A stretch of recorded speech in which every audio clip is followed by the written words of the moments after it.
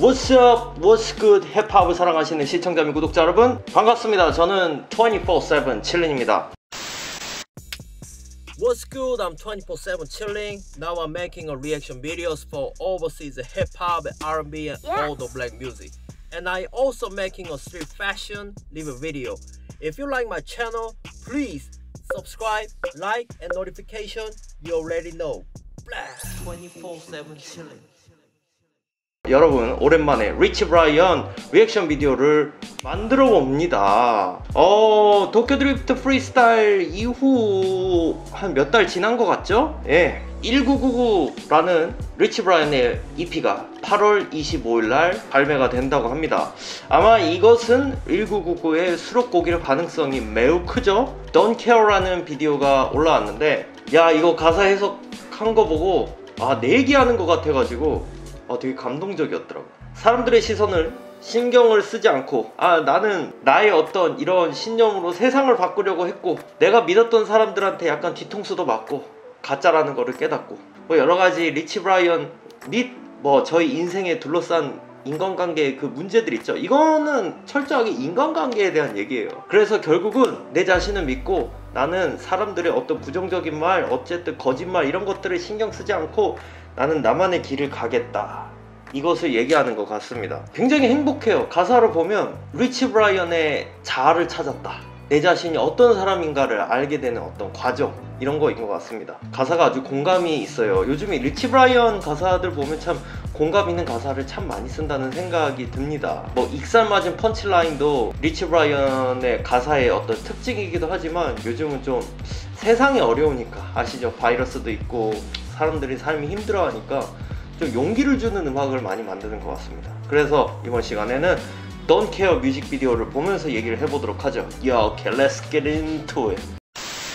Yup, are you enjoying watching my video? Have you still not subscribed to my channel? 오, 오. 인트로 듣고 난 처음에 동요인 줄 알았어. 요즘 느낌의 동요. 와, 이거 뭐야? 이거 뭐 약간 미스테리 서클 같은 그런 건가? Days. 아, 이 긍정적인 vibe. 뼛속까지 전해져요. I don't care. I don't really care. 아 이거는 완전 killing point야. 아 이렇게 hook을 듣는 것 자체만으로도 시원함을 느끼는 곡이 잘 없죠? Say it's just another day. Seen a lot of hearts broken, I don't wanna break none. 어. 선셋이 와 예술이다. 여기 어디야? 여기 어디예요? 미국이야? 인도네시아야?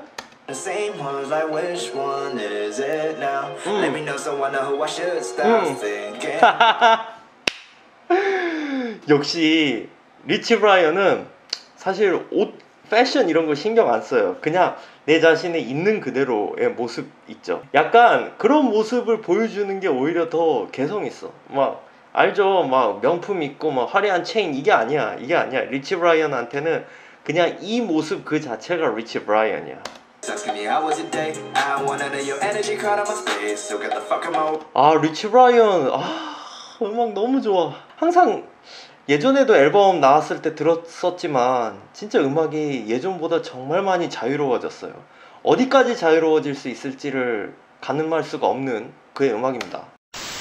It's another day.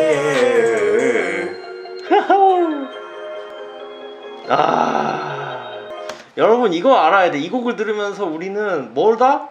우리 자신을 알아가고 우리 자신을 찾아가는 과정이다. 이걸 생각을 해야 돼요. 여기서부터는 약간 락적인 바이브들이 많이 들어가네요.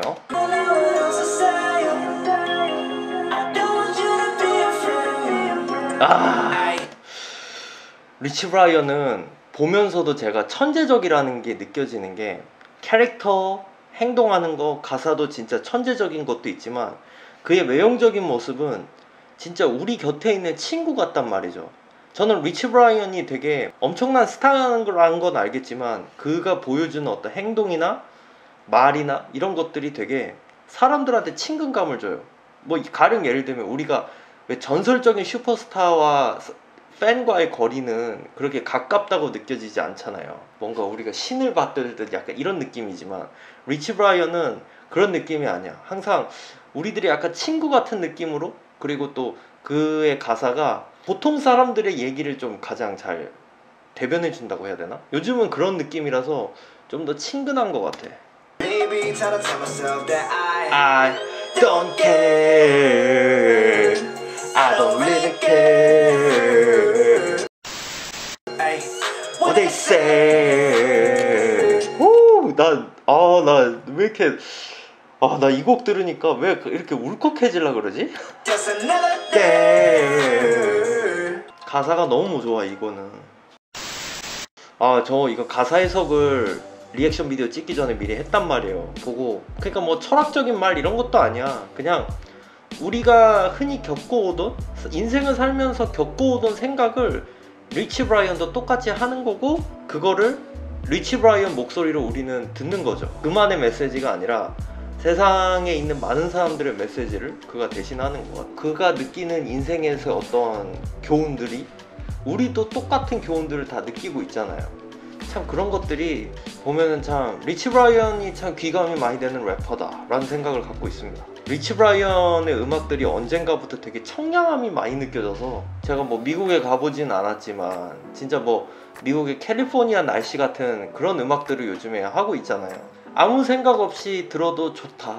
그 말밖에 안 나와요. 인도네시아 구독자분들도 많이 좋아하시는 리치 브라이언이 이니만큼 저도 굉장히 팬입니다. 여러분들과 같은 마음이에요. 자, 여러분들의 의견은 어떠신지 모르겠습니다. 의견이 있으시면 댓글로 남겨주시고 저희 24-7 7인 채널이 마음에 드시면 구독, 좋아요, 알람 설정을 해주세요. 저는 다음에도 재밌는 영상으로 다시 돌아올게요. 여러분 감사합니다. Peace out. If you want to watch more videos,